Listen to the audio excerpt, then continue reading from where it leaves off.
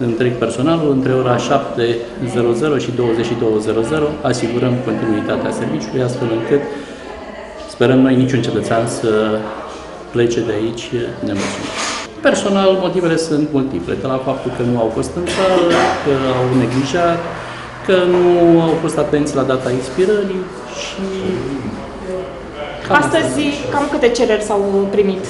La acest moment au fost primite un număr de 11 cereri, cereri care deja sunt în flux pentru emiterea cărții de identitate. Și elibera, eliberări câte?